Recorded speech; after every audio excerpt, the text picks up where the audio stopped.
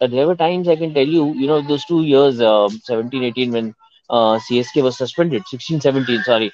Uh, Yeah. those two years when CSK, that was the lowest period in everybody's life, where anybody even remotely associated with uh, Tamil Nadu cricket and, and Nadu. uh, India Cements. You know, as much as Rajasthan Royals went through it, so did CSK, and it was a very low point. Yeah.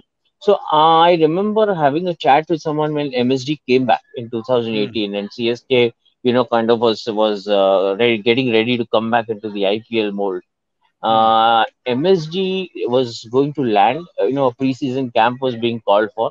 MSD was going to land in Chennai, and uh, the the guest house, the India Cements guest house in Chennai was, uh, you know, kind of vacated. It was kept ready for the entire CSK team to land up. Hmm. And uh, when MSD arrived, obviously he went, checked in. It was like home for him.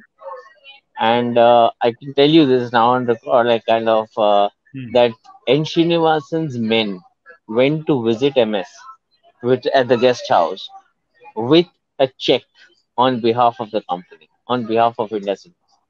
And this was just uh, uh, the check was only to welcome him back into the Hmm. CSK and the India Cements fold and said the boss wants you to have it. There was no amount written on it. They said the boss wants you to have this check, write whatever you want because you have stood by CSK and you have stood by us in our Hmm. lowest times. Okay, and you have come back. He took the check. There was there is this man in Srinivasan's right hand man, Mr. Kasi Viswanathan. He Yeah. took the check, gave it to Mr. Kasi Viswanathan, and said, "Keep this aside for now. Let's concentrate on cricket. We have work to do." This is an actual factual story.